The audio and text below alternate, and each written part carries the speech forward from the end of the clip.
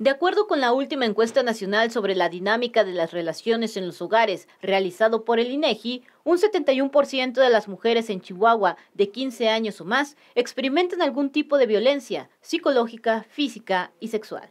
En la mayoría de los casos, los abusadores son sus parejas sentimentales, a quienes han idealizado de tal forma que buscan formas de justificar su conducta y por ello no piden auxilio. He encontrado que muchas mujeres tienen vergüenza, tienen vergüenza de ser señaladas por la sociedad, eh, piensan que su familia eh, les va a decir que pues es parte del matrimonio y tienen que aguantar, eh, reciben comentarios tales como pues te mantiene, no te tiene trabajando, tú aguantas, sé fuerte, tienes que, que ser la mujer de la casa. Muchas veces todas estas ideas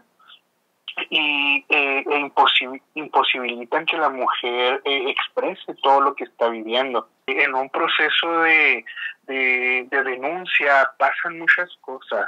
Eh, pasa que la víctima se arrepiente, empieza a darse cuenta que el violentador se está alejando y, todo lo que implica, eh, implica eh, que, que la persona que ejerce violencia retira apoyo económico, retira a los hijos. De acuerdo con el psicoterapeuta, al percatarnos de que alguien puede sufrir violencia en su hogar, no se debe abordar de forma incisiva, ya que la víctima se aleja y esta circunstancia es aprovechada por el abusador para cortar los lazos sociales. Evitar esta parte de presionarlas,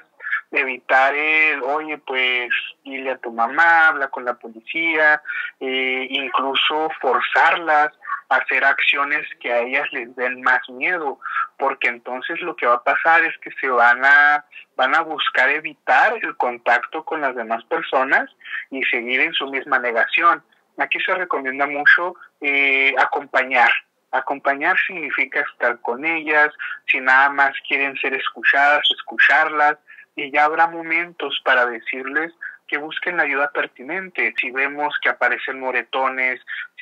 si, si, vemos que, la, que nuestra conocida, nuestra vecina, nuestra madre, hermana o esposa eh, está actuando de manera distinta, es decir, con miedo, eh, con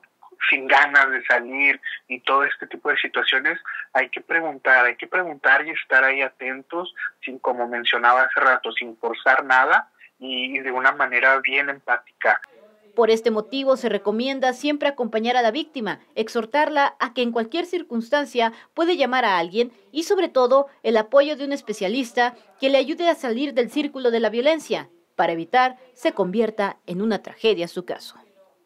Con imágenes de Daniel Alvarado, Damaris Díaz, las noticias más.